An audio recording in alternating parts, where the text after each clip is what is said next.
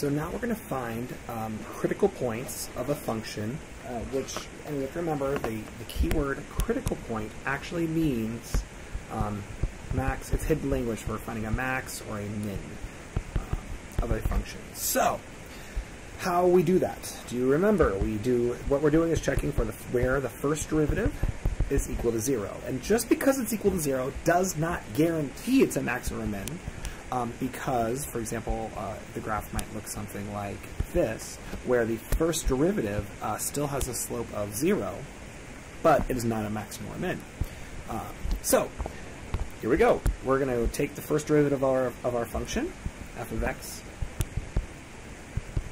and we would get what? 2x minus 6. All right, so we take that, we set it equal to 0, we get 2x minus 6, so therefore I get x equals what? Add 6 divided by 2, so that's 3. So therefore I know any place where I could potentially have a where I could potentially have a critical point would be at the x value of 3. So what we're going to do is test a value to the left, a value to the right. That's the first derivative. Test to the left, test to the right, and let's see um, what we get. So when I substitute in a value less than 3, 0 is really good. I get negative 6. Just a little bit of head math. That's why we like 0. So therefore, we, we see that anything to the left would have to have a negative first derivative.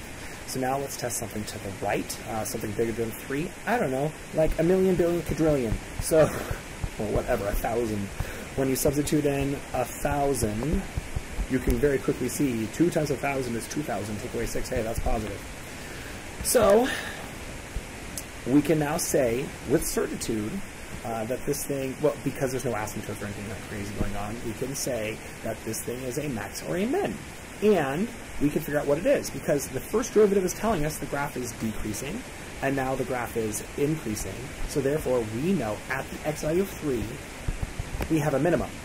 Now, to actually find the critical, now notice it doesn't say critical number. The critical number would be x equals 3. It wants a point.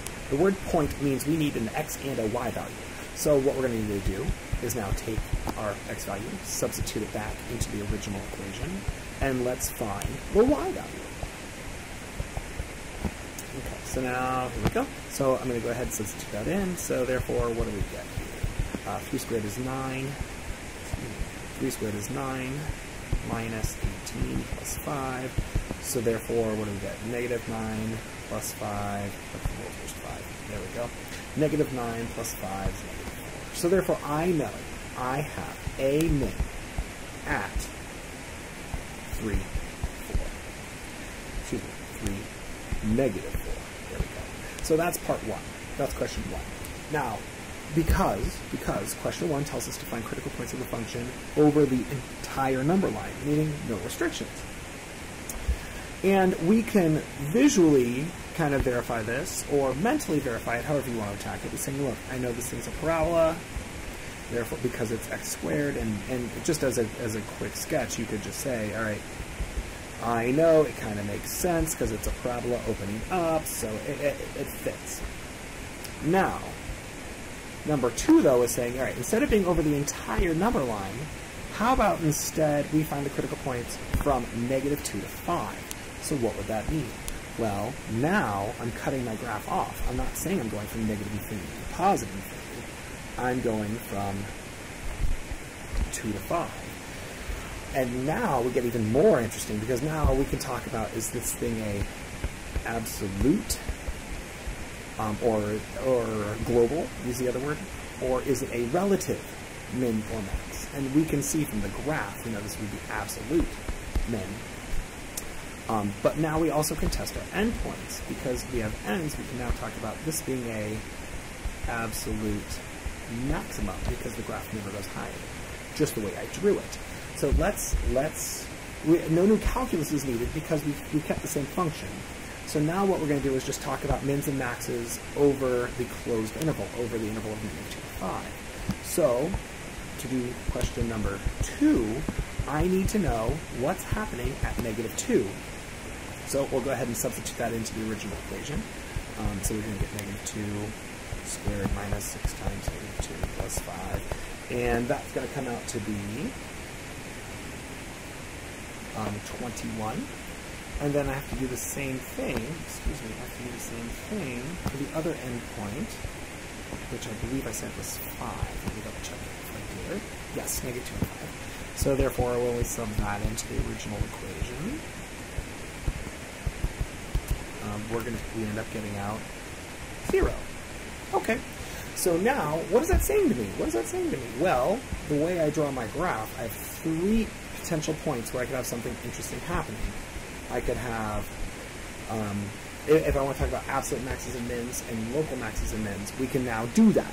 I say I have potentially interesting points at negative 2, 21, that's it because that's an endpoint, 5, 0 because that's an endpoint, and then the calculus showed us we have potentially another interesting point at 3, negative 4. So now, just by simply looking at the y values, I can say which one's the lowest. Hey, it's that one.